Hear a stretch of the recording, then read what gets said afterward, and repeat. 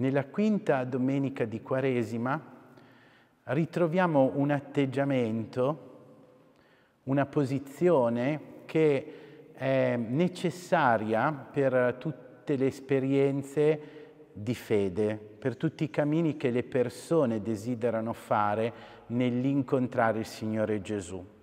Troviamo degli stranieri che portano infatti nel cuore questo desiderio, e cioè il desiderio di voler vedere Gesù. Ci sono dei greci, ci sono dei pagani che simpatizzano probabilmente per la religione ebraica, che salgono a Gerusalemme per avere un'illuminazione, per avere un'esperienza spirituale, per capire, per cercare di credere e probabilmente qualcuno ha parlato loro di Gesù, di Gesù di Nazareth, di questo rabbì molto particolare. E c'è questa mh, richiesta che non è superficiale, è una richiesta profonda.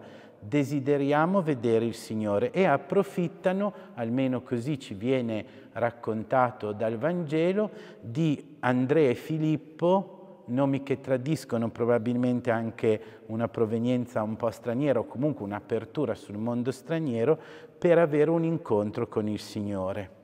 Volevo dire che è proprio così che accade, cioè proprio la curiosità che ci spinge a cercare un incontro con il Signore.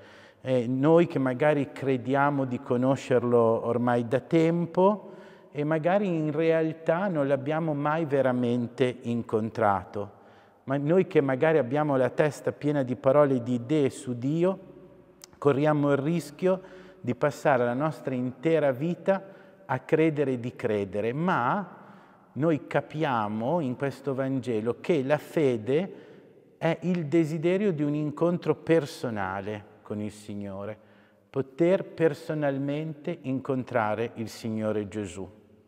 Vogliamo anche noi vedere Gesù, anche noi oggi nella nostra quotidianità e ci sembra bello riconoscere, accompagnati da questo Vangelo, che questo incontro capita sempre attraverso l'aiuto, se volete la mediazione, a volte povera, a volte più efficace, a volte meno, di uomini come Andrea e Filippo. Sono i discepoli ancora oggi a prenderci, ad accompagnarci dal Signore Gesù per poterlo incontrare. Sono i discepoli di Gesù ancora oggi che lo indicano presente nel mondo. Ecco, questo mi sembra il primo messaggio di questo Vangelo, il quale poi ci apre alla prospettiva pasquale. No? Gesù dice ai greci qualcosa di sconcertante, che in modo molto sintetico uh, è la logica del dono di sé. Parlerà del chicco che caduto a terra muore per poter portare frutto. Tutto diverso dall'idea che i greci hanno dell'eroe che affronta indomito la morte, ma qui c'è dentro anche la fatica, la paura, la sofferenza, il dolore.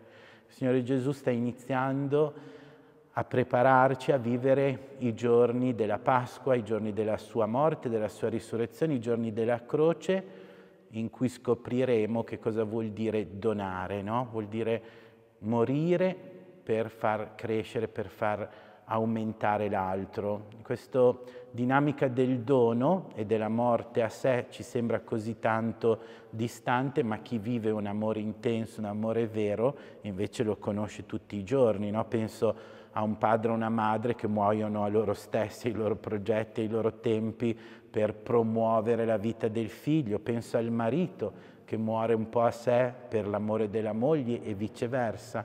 Ecco, Gesù ci sta portando piano piano ai giorni della Pasqua ai nuclei di un amore capace di essere dono.